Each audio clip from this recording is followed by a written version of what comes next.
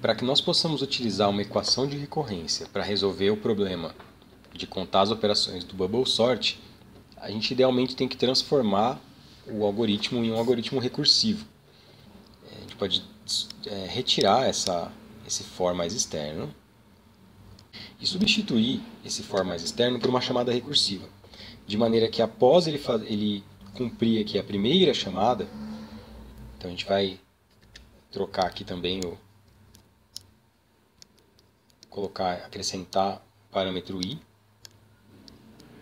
que vai controlar o número de elementos que já foram ordenados. Esse i aqui, inicialmente, na primeira chamada do bubble sort, é igual a zero. E eu vou verificar se o algoritmo chegou no caso base.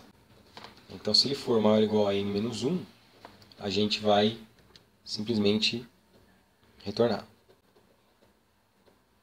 A gente termina o algoritmo. Então, esse é o caso base. O caso base é quando eu tenho apenas um elemento para poder uh, para poder fazer a ordenação, então não tem mais nada.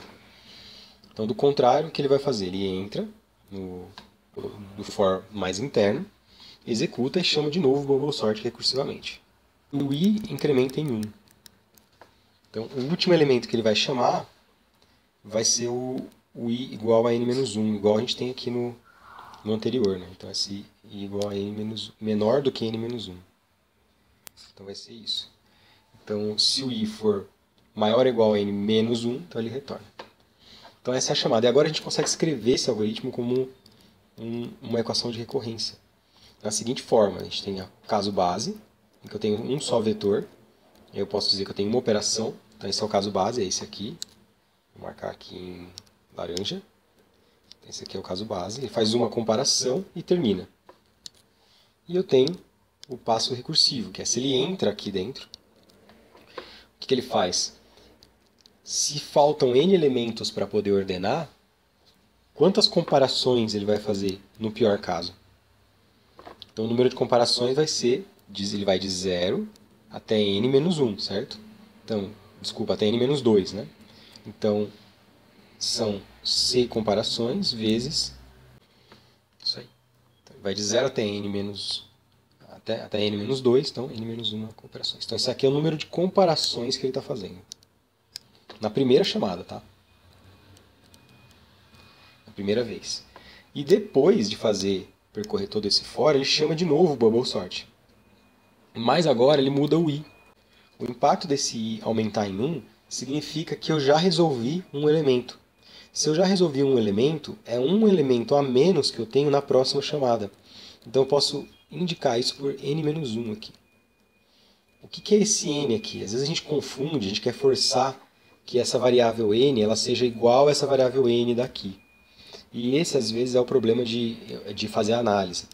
A gente tem que olhar do seguinte ponto de vista aqui na equação de recorrência. Esse n indica o quanto do problema eu já resolvi e o quanto que falta resolver.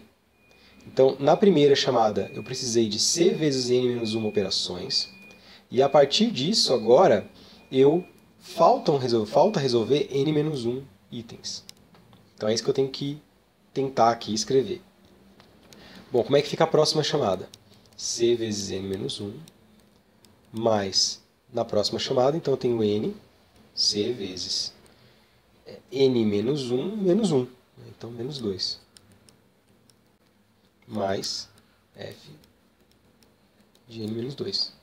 E eu vou aqui na sequência.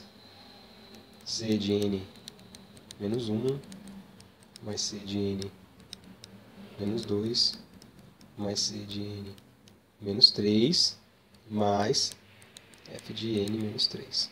Tá, vocês já entenderam a ideia aqui. Essa, essa é a sequência. Então dá pra ver aqui, ó, que é essa aqui, né, a segunda chamada, é o que ele faz na segunda chamada. E essa aqui é o que ele faz na terceira chamada, etc. E a soma é o que já fez até agora. Então, como é que a gente pode substituir uh, essa equação aqui, essa sequência, essa expansão, por uma equação que indique a késima chamada? A gente substitui assim, né? Eu tenho um somatório, nesse caso, somatório de elementos, de i começando em 1 até K de C vezes N menos I. Então essa é a, essa é a sequência. Então eu multiplico sempre C por N, na primeira vez 1, depois 2, até K. Mais o que falta fazer, que é N menos K. Então, essa aqui vai ser... Então vamos marcar aqui. Se essa aqui é a equação de recorrência base, primeira, essa aqui é a equação de recorrência genérica.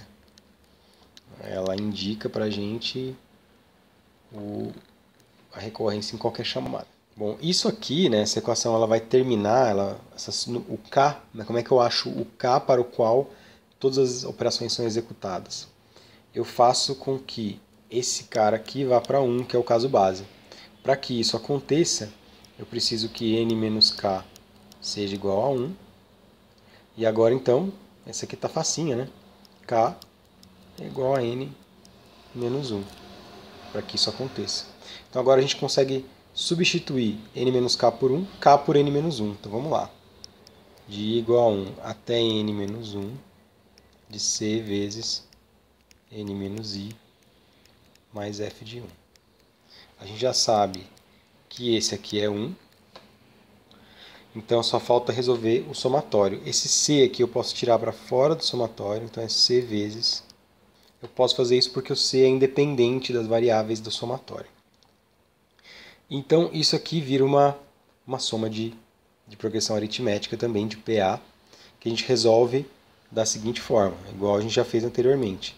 Então vai ser o número de termos de 1 até n-1, são n-1 termos. A n-1 vezes, tudo dividido por 2, né? O primeiro termo, o primeiro termo é n-1, mais o último termo. O último termo é n menos... Então aqui está fácil, né? Eu vou n menos n aqui cancela. O n muda de, de sinal, fica mais 1.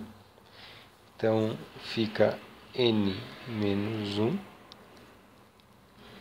vezes esse mais 1 aqui cancela com o outro, então fica n aqui dividido por 2.